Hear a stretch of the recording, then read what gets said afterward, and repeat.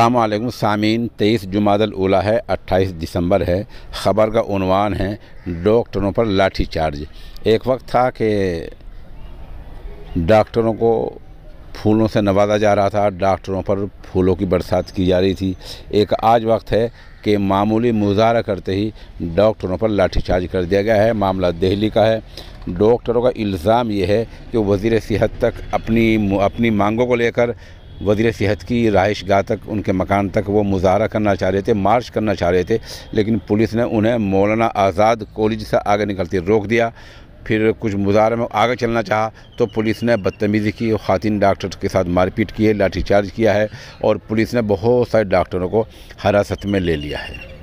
उधर पुलिस ने लाठी चार्ज से इनकार किया है और पुलिस ने कहा है कि इसे बदतमीज़ी नहीं की है और जिन डॉक्टरों को हिरासत में लिया गया था वो वो थे जो आईटीओ पर सड़क को रोक रहे थे, जाम कर रहे थे और बाद में उनको छोड़ दिया गया था। ख़बर और थोड़ी तफसील से सुन लें। नीट पीजी 2021 काउंसलिंग में देरी के मामले को लेकर दिल्ली में बड़ी तादाद में रेजिडेंट डॉक्टरों ने मुजाहरा किया है और इसी दौरान सड़कों पर पुलिस और डॉक्टरों के बीच झड़प हो गई है। फरीकैन का दावा है कि उनकी ओर से कई लोग घायल हुए हैं। यानी पुलिस भी कह रही है कि हमारे लोग ज़ख्मी हुए हैं और डॉक्टर भी कह रहे हैं कि हमारे लोग ज़ख्मी हुए हैं। रेजिडेंट डॉक्टरों ने अपने आंदोलन अपना आंदोलन तेज़ करते हुए कल अलामती तौर से अपने लैब कोट लौटा दिए हैं और सड़कों पर मार्च निकाला है।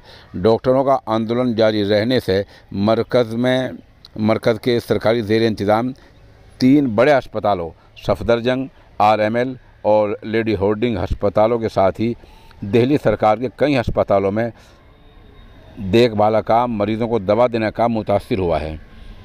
अगर डॉक्टरों की हड़ताल मज़ीद बढ़ती है और मांगे पूरी नहीं होती हैं तो ये काम अस्पतालों में और ज़्यादा मुतासर हो सकता है।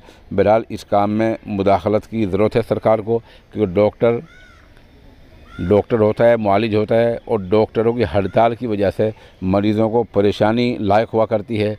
और दूसरी बात ये कि डॉक्टरों की जो मांग है, वो जायज़ मांग है, ये नाजायज़ मांग नहीं है।